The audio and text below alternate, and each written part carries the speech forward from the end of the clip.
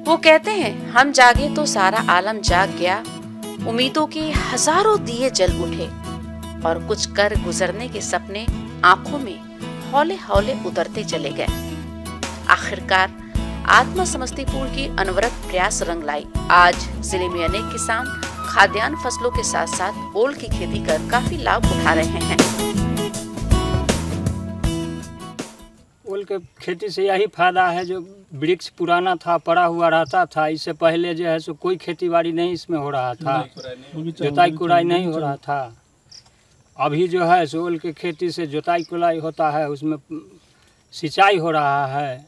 वैज्ञानिकों के जिससे सब कुछ जो है सो फर्टिलाइज़र उसको मिलता है। मार्केटिंग अच्छा है समस्तीपुर में। दिक्कत नहीं है समस्तीपुर में दरभंगा में मार्केट है हर जगह इसका मार्केट उपलब्ध है। फरवरी मार्च सब में लगे छे खेती से हाँ। संतुष्ट है आप लोग? खूब संतुष्ट हैं।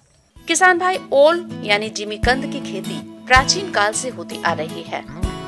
ओल में पोषक तत्वों के साथ ही अनेक औषधीय गुण पाए जाते हैं जिनके कारण इसे सब्ज़ी के रूप में खाने के साथ साथ औषधियों में उपयोग किया जाता है। इसकी खेती आप अंतर्वर्ती खेती के रूप में कर दोहरा लाभ प्राप्त कर सकते हैं। राज्य सरकार द्वारा बागवानी के विकास के लिए किसानों के हितों में आत्मा योजना के माध्यम से आप कृषकों को इस फ़सल के लिए अनुदान और प्रशिक्षण की भी व्यवस्था की गई है। तो फिर देर किस बात की है?